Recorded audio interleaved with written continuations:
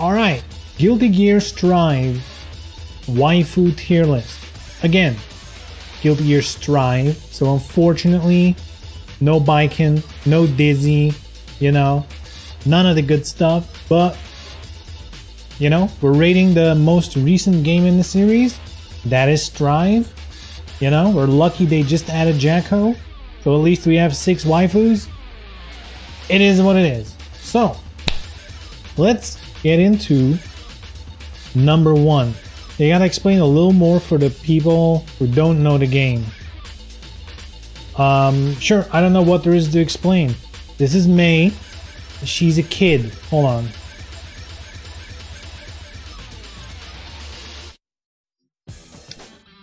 Whew.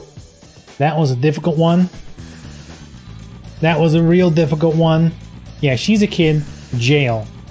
No. Bad. Alright. Amelia Rose. She's a badass. You know, she uses her hair to attack. You know, she does fucked up mix-ups. I like that. The Oki game.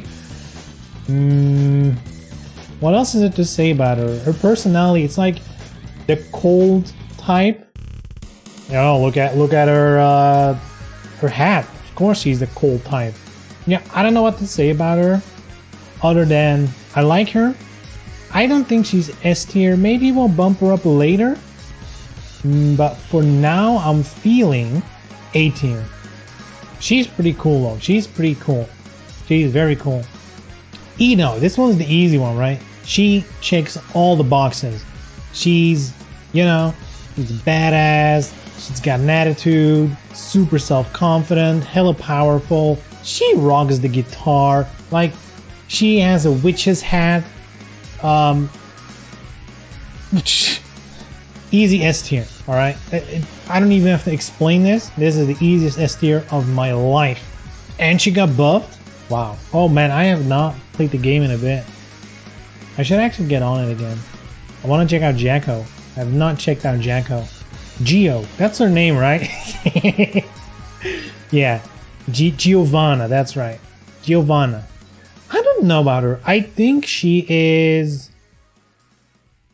She's cool. She has that little too serious vibe going on, like the all business vibe.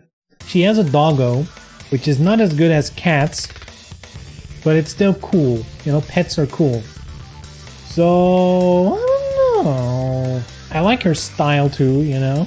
Like her, her clothing style. It's interesting. I was gonna say B tier, but the more I think about it, bump her up to A. She's rich. Hmm, nah. I don't care about money. Weird to think we'll soon be doing Saints Row Reboot waifu tier list. Yeah, that one's gonna be, uh... Highly demanded. Mm-hmm. Then, the new one. The new DLC. Jack-O. I actually don't know too much about her. I, isn't she Sol's wife? That's a problem, right? I guess technically I haven't looked at relationship status for the other tier lists at all. So we should ignore that. You know, this is a fancy draft anyway. So uh, I don't know about her. Hmm, she's got the moves though, right? Like, let's be real. Even if she's not your waifu, she did spark, you know, like social media was pretty dope when she released. Alright, let me tell you. If you follow a cosplayer or two, social media was pretty dope the last couple of weeks. Alright? I've seen some things and I do not regret it at all. So thank you, Jack-O. In fact, maybe we should include that. She is influential. Alright? She's influential. Maybe put her up here? Is she better than Amelia? I don't think so. And summoning shit is cool. Though it's little stupid dudes. And I'm gonna put it here. I'm I'm personally not too crazy about her. She's cool again. D doesn't necessarily mean bad. It means, you know, lesser compared to the others. And then uh what's her name again? Oh my god, how did I forget it? Ramlethal, that's it. Ramlethal. Uh, where are we gonna put her? So off the bat, I'm gonna say I'm not a fan of her. I think she has the personality of a door. Her fighting style is cool though with the big swords. Eh, it here. I don't think she's too interesting. And that's all the girls in Guilty Gear. Nice. Again, proving that DOA, in fact, has the best representation of females in the game.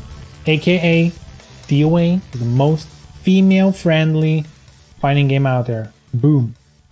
Proven once again. What's the Jack-O pose? Oh man, you're gonna have fun tonight. Woo! You know, close your windows, close your doors, start Googling and have fun, my man. Have fun. Whether you like artists, cosplayers, whatever. The last couple of weeks have provided for sure with the Jack-O pose. Easy. Anyway, yeah, short but sweet. I think this one was super predictable. Of course, these two were gonna be at the top.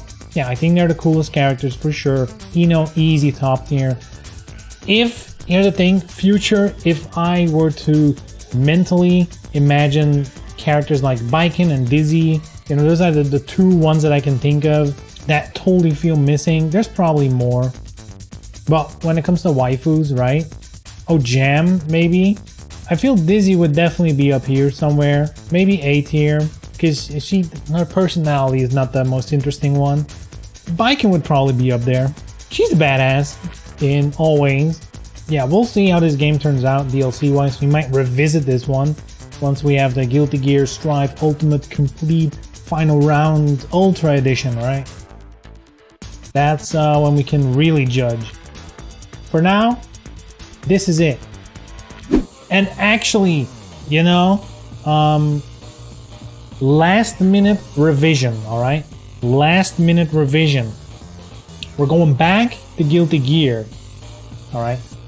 Last minute flippity flop. There we go. Looking at Virtua Fighter, I was like, man, these are so boring. Uh, Millia's an S tier, let's be real. At least she's a cool character, at least she has a personality. Like, come on. Those ties? Oh, mom. Woo! S tier, alright? Easy. I'm happy about that. And then she's in the running. Then she's in the running, making it interesting for the future. In the running for the cross fighting game, waifu, I guess tournament, but not really.